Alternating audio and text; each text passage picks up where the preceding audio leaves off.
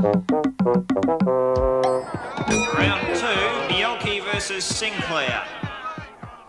Oh, well, very Uh, the whole country's just shifted to the right. Are you standing on its head? Yes, of course. Do you want me to move to the left? Uh, don't be silly. We'll never get our pictures in the paper. Uh, round 24, Sinclair versus Bjelke. Oh,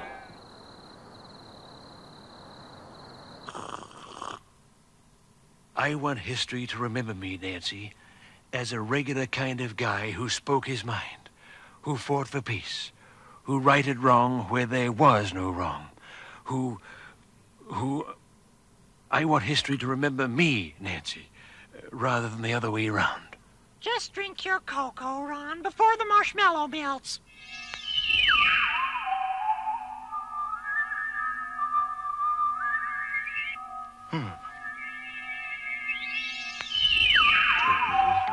Cheer up, John. You'll be the best Prime Minister since Billy Snedden.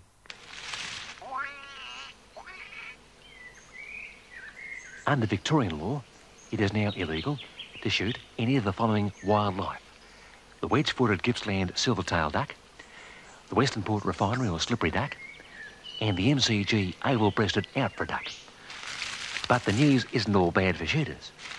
My government has declared open season on the following species of duck the book launch duck, the Bruce Ruxton or witch doctor duck, and Canetus duckiensis or leader of the opposition duckus.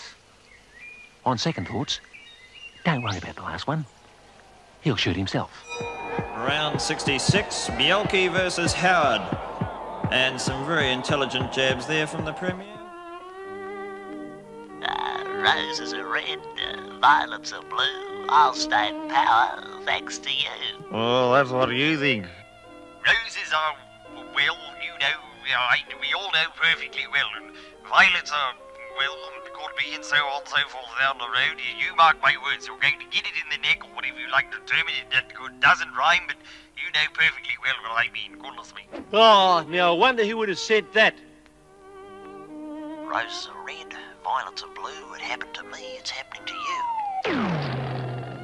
Roses are red, violets are cute. Colleagues of talent should be given the boot. All right, fellow caucus members, comrades, uh, with respect, I think it's time we put our 75% media ownership rule to the vote. Uh, those against? Uh, okay, uh, those in favour? Uh, myself, Comrade Bundy, Comrade Murdoch over there, and Comrade Accordi. Looks like the ayes have it. But uh, you can't do that. I know, you wouldn't read about it, would you?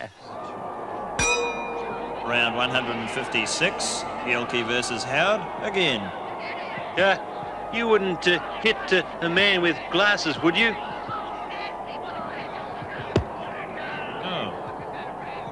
Yes, yes. When I'm Prime Minister, things are going to be different. You mark my words, the same, different. Don't you worry. You, you tell that Howard Jones and the rest of the gibberish party down there in Canberra with their their their their their their, their, their artificial incentivation and so forth and fifth and sixth. Uh, then of course there's the electrical electoral act out with it. Brand new boundaries. We'll put Melbourne and Sydney and Adelaide, all that lot into one big electorate, all in one. No, no duplication, no waste. Cut it all, all out, all bureaucracies and put all the electorates where the enterprise is here in Queensland across the board. Uh, not that anyone will be bored, but I'm the Prime Minister. You, you mark my worms. Joh Bjelke-Petersen, the natural choice of four out of every ten Queenslanders. Round 593, Howard. v- No, Peacock. Hang on, Bjelke. Oh!